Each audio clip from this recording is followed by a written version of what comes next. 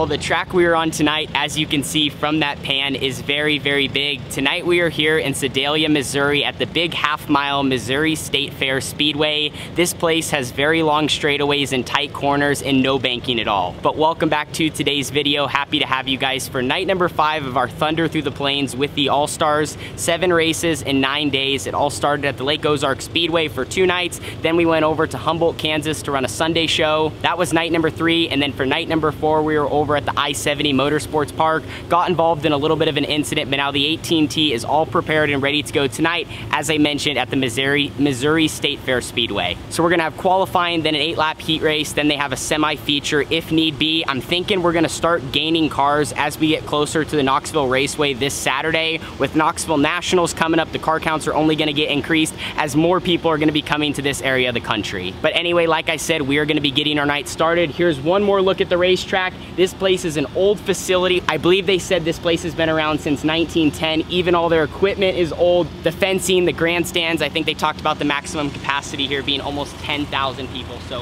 hopefully a big crowd tonight. It's gonna be a lot of fun. We're gonna pull our pill, have a pit meeting, then engine heat, and get it all started with qualifying.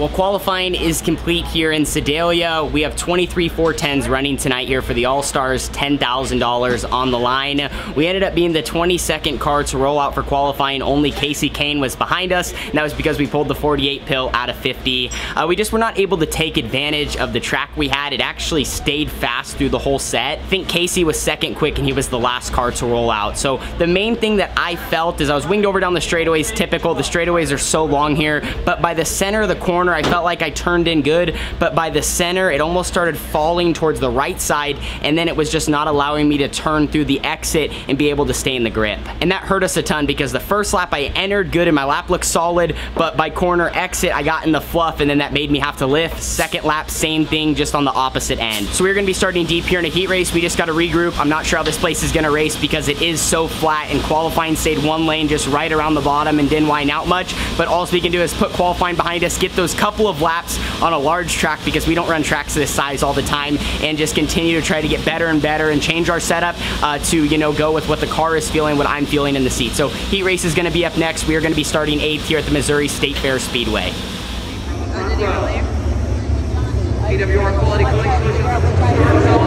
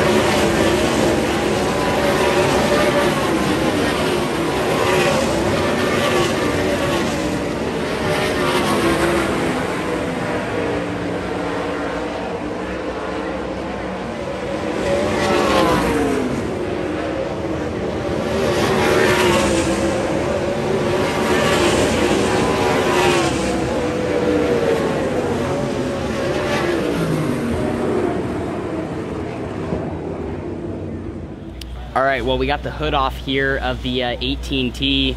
The heat race, everyone kind of really just spread out, which is what we were expecting. The racetrack here, it's super wide, but there's not that banking aspect I talked about, so you can't really run, well, I mean, it doesn't obviously get towards the wall. It moved up, but the heat, ra heat races were mainly just single file, and I knew we probably weren't gonna do much passing, so I kind of actually just wanted to get by myself a little bit and try to run eight laps and see if we could make the car better for the A. And we kind of started to spread out, and I was really trying to let the car guide and go where it wanted to go, because at these big tracks, man, you don't want to drive the car as much. You really want to be smooth on the wheels, straight, and I tried to work on all those little aspects of trying to be faster and we just noticed the engine just didn't, it, Bennett even said, even talked about being able to hear it a little bit, it just doesn't sound to 100% full potential and with this air being so bad here in Missouri, that also contributes to it, but also when we came in, it was running extremely hot. It was almost pegged here on the gauge, so we are going to try and change radiators right now and that's gonna be our little last ditch effort, but if it doesn't run great in the A, I'm just gonna run a lap or two and start and park uh, just because we do not wanna hurt this engine, but that could also contribute to why in qualifying it almost is getting tight because it doesn't have all that power. Pretty much what I noticed even a little bit there in the heat race after we made changes, added stagger and tried to get the car off the right rear is when it kind of gets into the crap towards the middle part of the racetrack, the darker stuff, it just still kind of falls and gets tight. So that's a little unusual for 410. We usually don't have that problem because they have so much power, they just stand up the right rear. But we're gonna change radiators, cool this thing off, and then see if we can find anything um, going forward into the A.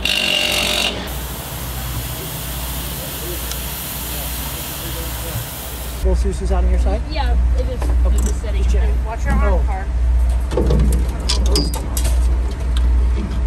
So we got our spare radiator from upstairs and why I talked about how this is so important is because when these engines get too hot, they don't run as well and that's what we talked about. It affects the handling of the car. Obviously, when you're down on power against these guys, you are just gonna get driven away from. So we're gonna put this one in and see if it makes any difference uh, in the A going forward. We'd like to try to figure this issue out, obviously, so it doesn't affect the rest of our trip. So we're gonna wait for that one to cool down. My dad's just taking some of those fittings off, getting some of those lines disconnected, and then we're gonna drop this one in. Should be a quick one. Well, the non-wing guys are just out there right now. There's just a couple of them, so that A is gonna fly by pretty quickly. Uh, we start deep. I think we actually start last. Uh, hopefully we fix our overheating issue. That is very important. If it gets hot again midway through the race or early on, I'm gonna pull into the infield because that's just much smarter. There's no reason to just run this engine into the ground. Uh, we have been having a little bit of problems tonight, and that's obviously hindered us, but maybe by switching the radiator, that might have fixed something. So we're rolling off deep. Racetrack is still pretty fast. I think that there's gonna be more on top than the bottom. That's just kind of how this place has been racing, but with a lot of us out there, it could typically change if we do make it towards the end of the A. I need all the laps I can get, so it's important that hopefully everything goes correctly. We're gonna head out.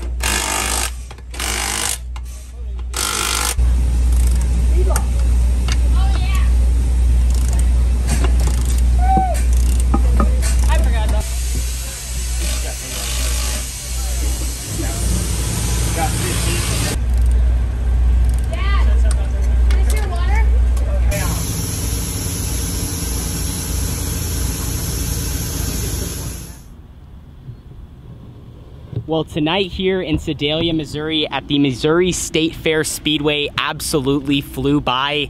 It almost felt like a blur, and that's how a lot of these all-star shows feel like because they run such a quick operation. We have pit meeting, get right into engine heat, then hot laps, qualifying. Heat races are literally minutes after qualifying is over. Then we have a little bit of time if you don't make the redraw, and then if they have a semi-feature, and then the A main event, and just like that, the night is complete. So I know I talked to you guys, but I almost forget a lot that I mentioned throughout the night just because it's so quick. I pick up the camera for 60 seconds and then we're right in the race car. I feel like for it being a fair track and a fair facility, uh, actually what we had towards the end of the A main event and through the middle part of the feature and even the beginning was about as good as it could have possibly got here at the Speedway. A little bit down low if you could run down there, but a lot of guys were literally just sending it in wide open on the top and it didn't really develop a curb. You can see it's really just a lot of fluff that is built up throughout the night as cars start to run higher and higher. And I rolled off dead last. We struggled all night. It seemed like we were having a little bit of engine issues. We switched radiators right there before the A, and when I got out there, the engine seemed really, really happy. I was constantly watching my gauges for the first couple of laps to see if it was getting too hot, and it was around 240, maybe 250, but I kept on running, and then under that first yellow, maybe it was 10 or 15 laps into the race, or one of those yellows, it got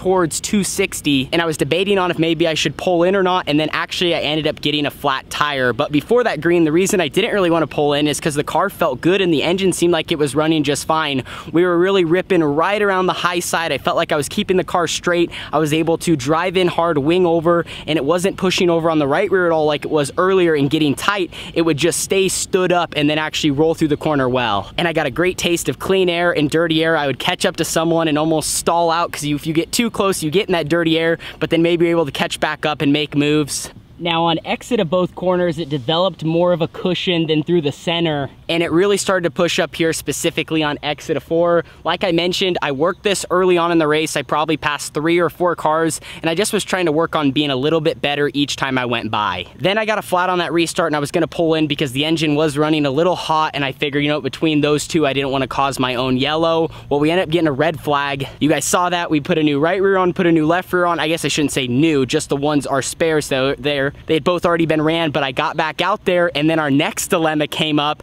Actually, the rod end on the wing slider, on the wing ram, it actually backed out, so I lost a wing slider. I was moving the valve back and forth, trying to move the wheel, and it was not moving at all. It got stuck all the way forward, and then actually when we gas it up under green, it would start moving back and get all the way in the trunk. My crew and everyone in the infield, if they watched me, probably thought I was going bonkers because literally I'd start with it all the way forward, then all of a sudden going into one, it's all the way back, then on exit, it's going back forward and get stuck in the middle and I'm trying to watch it under the yellow to see what's going on, see where my wing's at to determine where I'm gonna run. Because when it started going back, I couldn't enter on the top because I'd get way too tight. So I try to roll the slick and then catch it on exit. It was a complete mess and it only got worse throughout the last 10 laps. But eventually I just moved down low because it got stuck in the trunk and it actually wasn't bad. I passed a car or two. I think we started 23rd and ended up coming home 15th plus eight, one spot away from being hard charger. So that was nuts. I've never had that happen before, but I think if there was a blessing for tonight, it was that we were able to run all those laps and have a situation like that happen because it's gonna be more valuable now